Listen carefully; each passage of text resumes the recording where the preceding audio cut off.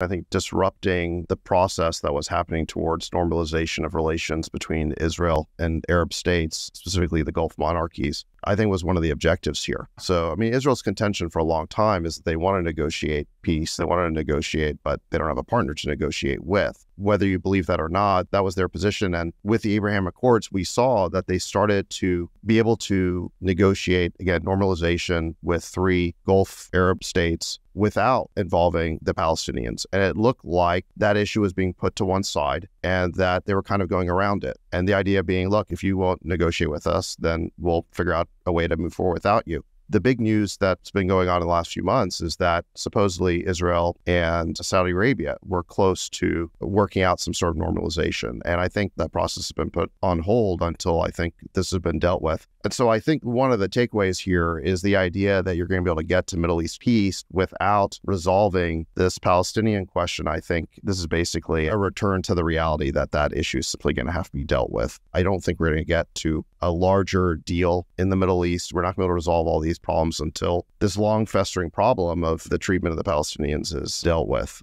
I think you're right that the two state solution is the only possible solution that makes sense. I mean, what's the alternative? A one state solution means that either it's run by the Israelis, but presiding over hostile Palestinian minority that may eventually one day be the majority, and you're forced into some sort of apartheid state, or the Palestinians are running that one party state, and it means that the Jews have been pushed into the sea. So neither one of those solutions looks very good. So that leaves you with a two state solution. However hard, however impossible it seems to negotiate that, it's the only option. Yeah.